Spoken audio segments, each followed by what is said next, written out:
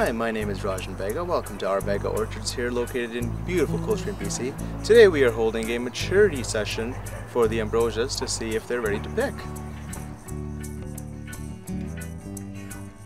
I'm Charlotte Leeming and I'm the Ambrosia Coordinator for the New Variety Development Council. And I'm here today to test the maturity of the ambrosia apples in the orchard. So to test the apples, we're going to stain them with iodine solution. We cut them in half, spray them with the iodine, and then we look at the pattern of the stain. The iodine stains the starch in the apples. It takes a couple minutes for the stain to come up. This fruit has been here for a few more minutes, so it's a little easier to read. And we just compare it to the chart. It's a little like Sesame Street. What does this look like? So when the fruit's immature, all the flesh will be black. Uh, it will be very starchy, taste a bit like a potato. But as the piece of fruit matures, the starch starts changing to sugar and we start seeing this, this pattern.